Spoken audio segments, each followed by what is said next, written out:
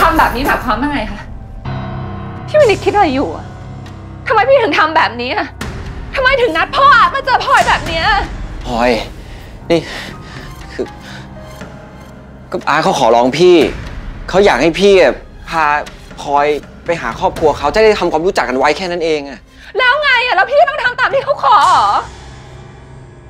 พี่วินิตพลอยเป็นเมียพี่นะทำไมพี่ถึงทำแบบเนี้ย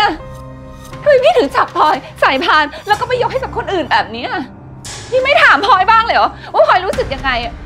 พลอยไม่ใช่สิ่งของนะคะ ที่พี่คิดจะยกให้ใครก็ได้อะไม่เคยคิดอย่างนั้นเลยนะพลอย แล้วพี่คิดยังไงอะพี่ก็พูดมาดิพลอยอยากรู้ว่าพี่คิดยังไงอะทำไมพี่ถึงทำแบบเนี้ยพลอยไม่เข้าใจอะหรือความจริงพี่เบื่อพลอยแล้วใช่ปะพี่ต้องการยกพลอยให้คนอื่นใช่ปะพี่ถึงทำแบบเนี้ย ว่าไงอะคะตอบพลอยมาสิพี่ตอบพลอยมาดิว่าพี่คิดยังไงพี่ก็ตอบพลอยมาดิพี่ไม่นิดพูดดิคุณพลอยคะหยุดได้แล้วค่ะ วันนี้คุณวินิตไม่ค่อยสบายนะคะ คุณพลอยอย่าทำให้เธอโมโห แล้วก็ทำให้เธอไม่สบายใจมากขึ้นสิคะป้าคะนี่เป็นเรื่องของพลอยกับพี่วินิตป้าอย่ายุ่งได้ปะพี่พลอย พี่ว่าตอนเนี้ย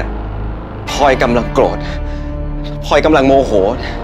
เราคุยกันตอนเนี้ยเราคุยกันไม่รู้เรื่องหรอก เอาเป็นว่าเดี๋ยวพลอยใจเย็นลงนะ ค่อยมาคุยกันอีกทีแล้วกัน ไม่พลอยต้องการจะคุยวันนี้เท่านั้นก็พูดแต่มาดิพี่ไม่อยากคุยตอนนี้ไง เฮ้ย